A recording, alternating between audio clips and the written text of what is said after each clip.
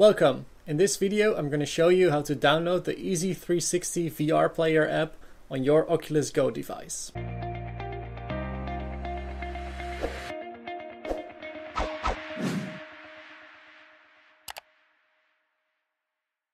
Now let's head over to our headset and see what you have to do. Okay, so once you are in the main menu, in the bottom right corner there's a search icon, click it, the search bar will appear and just type in EZ360 and hit go. And as you can see the first result is the EZ360 VR player. Once you select it, there's a blue button, install. If you click this, the app will install to your headset.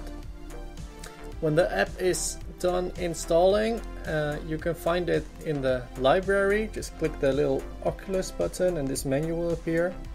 Go to navigate, then go to library. And as you can see in our apps icon or in our apps menu, the VR player from EZ360 is now installed.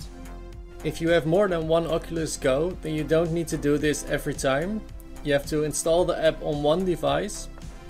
In the other devices, the app will appear in the not installed section inside the library. The next step is to pair your Oculus Go device with your EZ360 account. We will tell you how to do this in the next video. You can find links to more EZ360 tutorial videos below this video. If you haven't already, create your EZ360 account today. We have different plans, including a free plan, and if you have custom needs, please reach out to us. Thank you for watching.